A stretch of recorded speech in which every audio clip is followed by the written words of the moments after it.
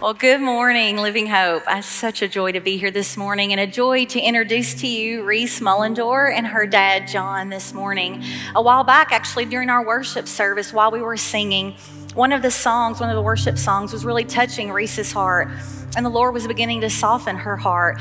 And later that night, while at home, while she was going through her devotion and reading in God's Word, she knew that it was time for her to trust in Lord as her Savior. And so, with her parents by her side, she prayed, repented of her sin, and trusted in Jesus. And she's here today to publicly profess her faith and trust in Him. And so, Reese, I have a couple of questions for you. Do you believe that Jesus came, that he lived a perfect life, that he died on the cross for your sins, and on the third day rose from the grave, and one day he's going to come back and reign forever?